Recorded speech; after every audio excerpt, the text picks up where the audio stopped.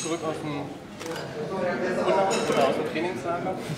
Sind Sie zufrieden mit äh, dem Verlauf des Trainingslagers? Also Urlaub ist schon frech, weil wir haben sehr, sehr hart gearbeitet.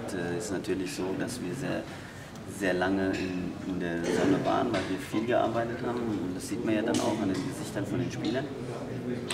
Ich bin absolut zufrieden. Es war ein gelungenes Trainingslager, aber all das spielt keine Rolle, sondern wichtig ist, dass wir beim Punktspielstart natürlich dann auf der Höhe sind. Sie haben ähm, in dem einen Testspiel den ähm, Herrn, Herrn Hammel ganz äh, durchspielen lassen. Zum Test äh, hat er sich äh, präsentieren können als der Torwart? Es ist ja so, dass ich von Anfang an gesagt habe, dass wir Timo Hammel die Möglichkeit geben, dass er im Mannschaftstraining sich fit hält. Und da wir sowieso einen Torwart noch suchen, äh, wollen wir natürlich da genauer drauf schauen. Aber im momentanen Stand der Dinge ist es so, dass wir nicht diesen Druck haben, jetzt unbedingt einen Torwart zu verpflichten, weil wenn wir diese Verpflichtung tätigen, wollen wir schon genau hinschauen und auch jemanden holen, wo wir absolut überzeugt sind. Im Moment ist es noch nicht so. Also wird morgen dann ähm, Sven wieder... Morgen wird Sven im Tor stehen. Ähm, andere Personalie, die im Urlaub ja aufgefallen ist, ist ähm, Rosin mit seinem gebrochenen Nasenbein. Äh, wie weit wirft ihn das jetzt zurück im Kampf um die Plätze? Ja, ihn persönlich wirft es natürlich schon sehr weit zurück, weil äh, es ist ja auch so, dass wir auf diesen Positionen sehr gut besetzt sind und dass wir äh, natürlich auch äh, schauen müssen, dass wir einen gewissen Stamm auf, auf den Platz schicken. Und bei Daniel ist es natürlich ärgerlich, weil er hat schon äh, eine sehr gute Trainingsleistung absolviert, aber der Konkurrenzkampf ist groß und wenn natürlich sowas passiert, da kann er ja nichts dafür. Er muss halt weiterhin so arbeiten wie vorher.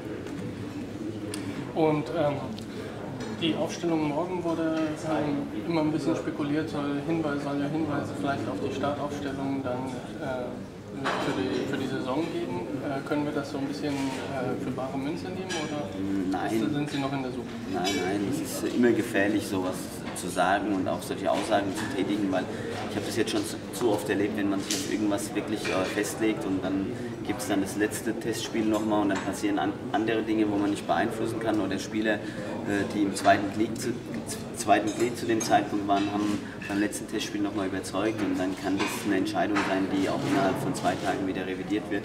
Deshalb ist es so, wir versuchen so zu arbeiten, dass wir 20 Spieler haben, die äh, jederzeit spielen können. Wer dann von Anfang an spielt, der muss natürlich auch beweisen, dass, äh, dass er zu Recht in der Anfangsformation ist und den Platz so kämpft, dass er nicht mehr hergibt. Zum ersten äh, Pflichtspielgegner Türkimspor äh, war das so quasi wie ein Wunschgegner, dass es ein Aufbaugegner ist oder ähm, hatten Sie gehofft, dass da vielleicht ein äh, anderes äh, Kaliber noch kommt? Wunschgegner, Aufbaugegner, das sind alles so Dinge, die ich ein bisschen respektlos sehe, weil ich glaube einfach, dass äh, wir da schon sehr gut beraten sind, dass wir respektvoll auch mit den Gegnern umgehen, auch von der Erwartungshaltung, weil ich denke mal, dass kein Spiel in der ersten, kein, kein Spiel am ersten Spieltag ein einfaches Spiel ist. Es ist eine neue Saison. Jede, jede Liga hat ihre eigenen Gesetze und wir versuchen natürlich auch in der Situation, wo wir momentan sind, äh, egal gegen wen, äh, in unseren Rhythmus zu kommen. Und da ist jedes Spiel nicht einfach. Ich danke und wir freuen uns auf die Saison. Dankeschön.